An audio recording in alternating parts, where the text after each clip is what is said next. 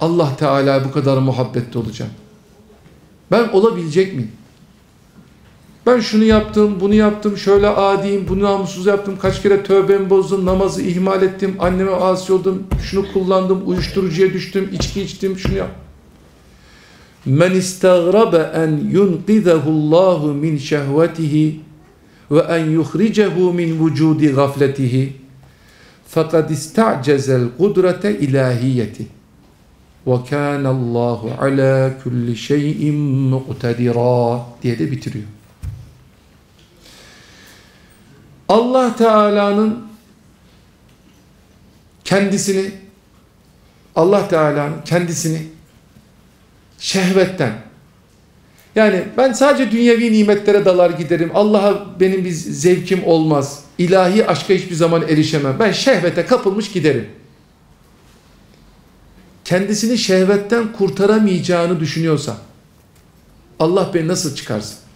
Veya beni gafletten nasıl kurtaracak ki Allah? Diyen bir insan Allah'ın kudretine aciz görmüştür. Tevazu değildir diyor.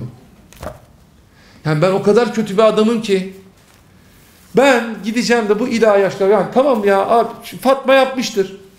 Mehmet abi tamam ama zaten güzel adam. Sen beni biliyor musun ya ben oha neler yaptım neler. Ne gaflet var bende. Ben kim? Bu adamların anlattığı ilahi aşka ermek kim? Diyen bir adam kendisini aslında küçük görmüyor diyor. Allah'ın kudretini küçük görüyor. Peki Allah ve kana Allahu bi kulli şeyin muktedira ala kulli şeyin muktedira. Allah Teala her şey üzerine galiptir. Her şey üzerinde kudretini gösterir. Senin gadabının da, şehvetinin de, şuyun O zaman ne demek bu? Sen devamlı kendine bakıp ben adamım olmam, ben adam olmam diye kendini görmek belasından kurtul da Allah'a bakmayı öğren diyor. Buradaki söylenmeyen söz budur.